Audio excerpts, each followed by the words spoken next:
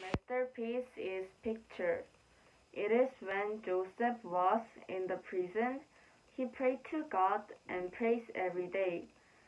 I like this scene because I think God gave him faith and he could praise God.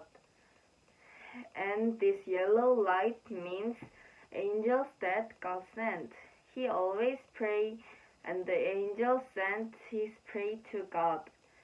Even in the prison, he never grumbling and waiting for God's plan. I think he was feel heavy, depressed, and he could scary because no one is be beside him. But he bear up. I will always pray and praise God like Joseph. I believe God will answer my prayer like Joseph.